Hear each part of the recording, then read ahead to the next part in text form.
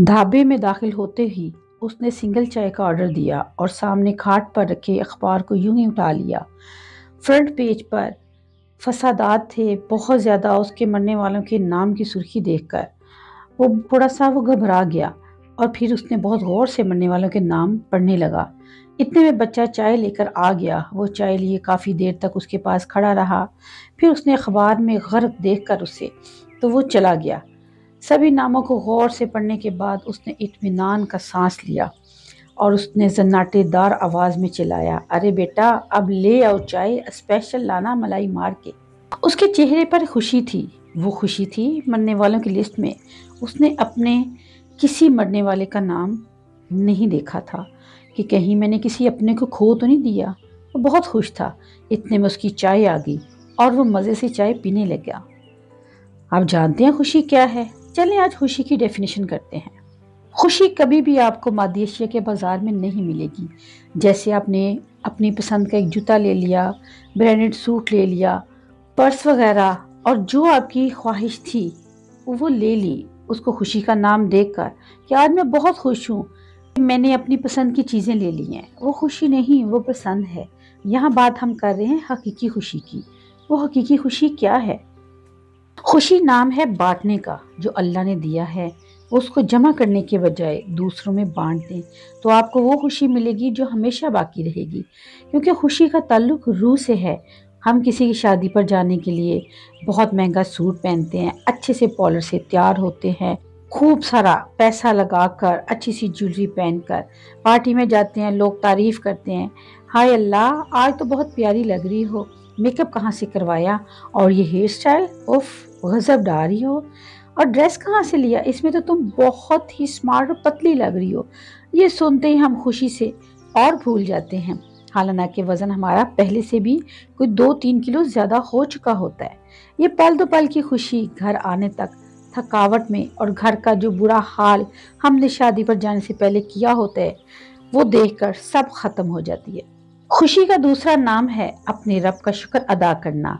आप खुश हैं, अल्लाह ताला का शुक्र अदा करें कि आपको उसने ये खुशी दिखाई। खुशी का एक और नाम एहसास का है। जब आप अपने से जुड़े रिश्तों का एहसास करते हैं और वह हमसे खुश होते हैं तो उनकी खुशी में ही हमारी खुशी होती है। खुशी से जुड़े रिश्ते आपके बहुत करीबी, शोहर का, बच्चों का, माँ बाप का, बहन भाइयों का और जिन रिश्तों के साथ हम हर वक्त रहते हैं वो है अपने शोहर का रिश्ता, बच्चों का रिश्ता। अगर वो खुश हैं तो आप भी खुश हैं।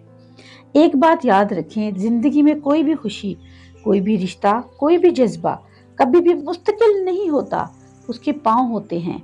हमारा सलूक और रवैया देखकर कभी ये भागकर हमारे करीब आ जाते हैं और कभी आहिस्ता आहिस्ता दूर चले जाते हैं।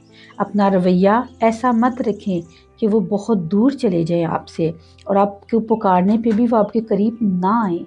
उनकी खुशी में खुशी ढूँढने की कोशिश करें। गम खुद ही खुशी में बदल जाएँगे।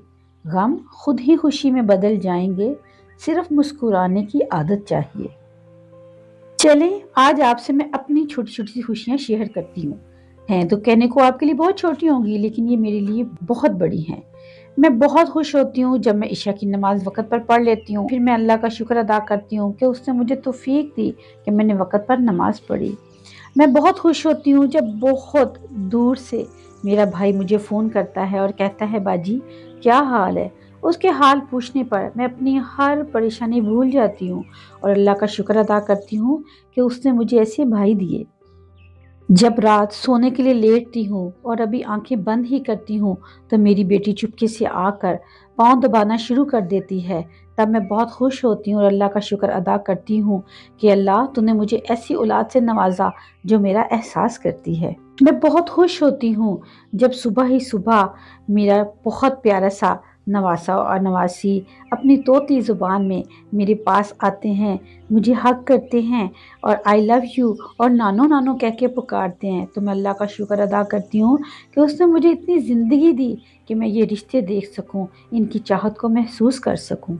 जब रमज़ान हो और मेरे घर में इफ्तारी हो और सब कुछ मैं रोज़ी की हालत में बिना चखे अच्छा बना लूँ और जब इफ्तारी पे हर चीज़ परफेक्ट हो और सब तारीफ़ करें हर कोई खुश हो तो मैं अल्लाह का शुक्र अदा करती हूँ कि उसने मुझे इस हुनर से नवाजा कि मैं बिने चखे सब कुछ बना लेती हूँ। मैंने चंद खुशियाँ आपसे शेयर की हैं।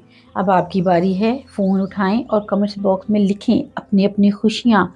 हमसे शेयर करें, हम आपकी खुशियाँ दूसरों से शेयर करेंगे और देंगे दुनिया को एक नया अंदाज खुश रहने का कि खुशी सिर्फ़ आपके आसपास है। एक बात हमेशा याद रखें, आपका खुश रहना ही आपके बुरा चाहने वालों के लिए सज़ा है। लाइक करें सब्सक्राइब करें और शेयर करें। अल्लाह हाफिज़।